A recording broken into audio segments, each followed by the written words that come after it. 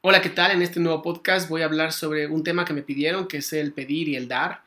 Sobre todo porque es un tema muy llamativo. Cuando las personas tienden a, decir que quieren algo, normalmente tenemos dos problemas en este pedir. Uno es que uno no saben qué quieren. Y dos, que como no saben qué quieren, lo piden de una manera que a veces no es la más adecuada.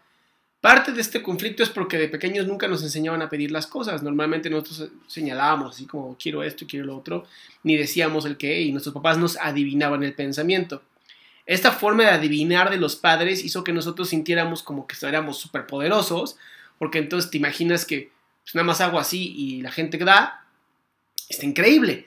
Ahora nos encontramos con un problema muy grave que es la gratitud. Pocas personas tienen gratitud en pocas palabras. Pocas personas saben lo que es ser humilde.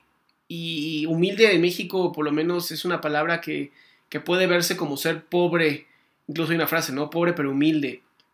Cuando también se puede ser millonario y humilde. Esto significa tener empatía, tener esta capacidad de poder sentir lo que el otro va a sentir cuando yo le digo algo, o poder pensar lo que el otro va a pensar cuando yo le estoy pidiendo algo. Creo que parte del pedir y el dar se, se va a remontar en esto y se va a reducir a esto. A que cuando yo le pida algo a alguien, en ese momento piense antes de hacerlo, ¿qué puede llegar a pensar sobre la petición que yo hago? ¿Y cómo se puede sentir?